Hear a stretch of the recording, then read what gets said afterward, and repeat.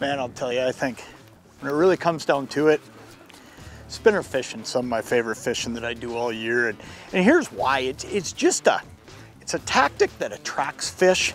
It's easy to do. I mean, I can do it in a rod holder.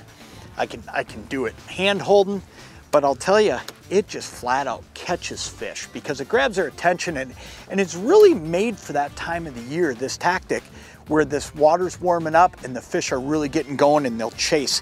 This here, I mean, I'll tell you what, this, this spinner rig you see right here, it's been around forever. This is a little Joe spinner rig, but there's something really cool and new about this and that is we're doing a whole bunch of new colors.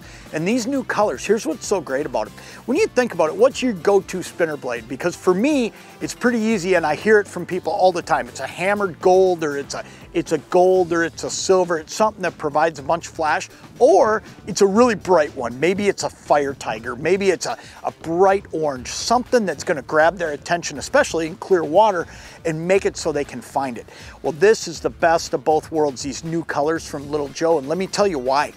These blades are all a metallic. So they're either gold or they're chrome. And there's four different colors. I'm gonna show them to you. But these four different colors are then painted as well. So you've got the color down there, that bright color, whatever it is that you wanna use to grab their attention. But the other thing you've got is that metallic. So you're getting color, flash, color, flash. And man, I'll tell you what, you put all that together and you got the best of both worlds. And these fish, I mean, they can find it. If they can find it based on color and flash, odds are they're gonna chase it. And if they chase it, I'll tell you what, they're gonna eat it. Let me show you all these colors though, because they are super, super cool. This one here's the pink and, and pink and gold. And then on the back, this one's painted white. But then we also have white with chrome and the back of that one's chrome. Then we have a blue with chrome, and man, I think blue is one of those colors that's so overlooked in fishing. But blue emulates a lot of our silver-sided minnows down there. So you put that chrome down there along with that blue color hue, and I'll tell you what, that's a shiner minnow. That's a tullibee. That's a lot of the things that walleyes are eating. That's what makes that one so effective. And then, man, I'll tell you what, just everybody's favorite, golden chartreuse. I mean, how do you beat that? That's a perch every single day of the week.